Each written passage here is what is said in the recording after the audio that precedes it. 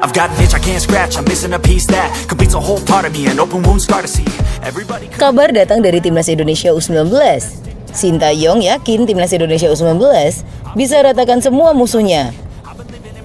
Dan kali ini Gila Bola akan mencoba memberikan informasinya sebagai berikut.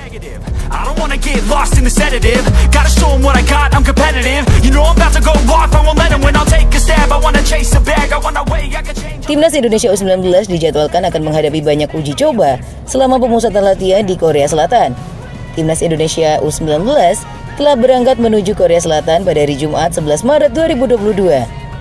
Sebanyak 32 pemain Timnas Indonesia U19 berangkat ini akan menjalani TC di Korea Selatan hingga 15 April 2022. Selama menjalani TC di negeri gingseng tersebut, Timnas Indonesia U19 dijadwalkan akan melakukan uji coba sebanyak 9 kali.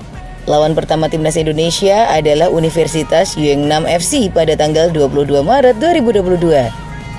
Mendengar pengakuan pelatih Yuengnam FC yang meremehkan kualitas bermain Timnas Indonesia U19, pelatih Sintayong sangat optimis anak asuhnya bisa mengalahkan Yeongnam FC dengan mudah. Said it so they get famous. And when I say the truth, most really can't take it. In spite of everything I've been through, I'ma make it. Fake friends, but on my downfall it's toxic. Day one, started to outlaws for profit. Now all I do is write verses, no talking. All I do is put the work in, no option